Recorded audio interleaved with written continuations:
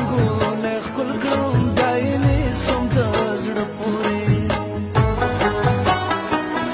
دا یو ټوټه برغ مې چې په کوم اسمان کا خوري د پلو رنگونه خپل کړم دایمي سم د زړه پورې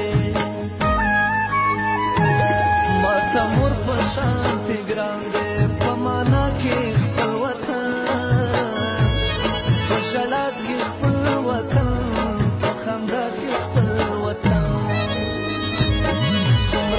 سمرا عزیز دې په دنیا کې خپل وطن په ژړا کې خپل وطن